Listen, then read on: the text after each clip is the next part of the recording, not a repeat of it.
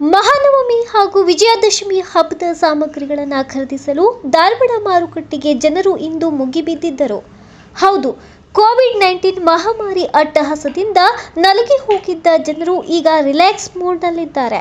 ಹಬ್ಬದ ಸಾಮಗ್ರಿಗಳ ವ್ಯಾಪಾರ ವಹಿವಾಟಿಗಾಗಿ ಇಂದು ಜನರು ಮಾರುಕಟ್ಟೆಯತ್ತ ಮುಖ ಮಾಡಿದ್ದು ಹೂ ಹಣ್ಣು ತರಕಾರಿ ಬೆಲೆ ಏರಿಕೆ ನಡುವೆಯೂ ಹಬ್ಬಕ್ಕಾಗಿ ಖರೀದಿಸಲು ಸಾರ್ವಜನಿಕರು ಮುಂದಾದ ದೃಶ್ಯಗಳು ಇಂದು ಕಂಡುಬಂತು.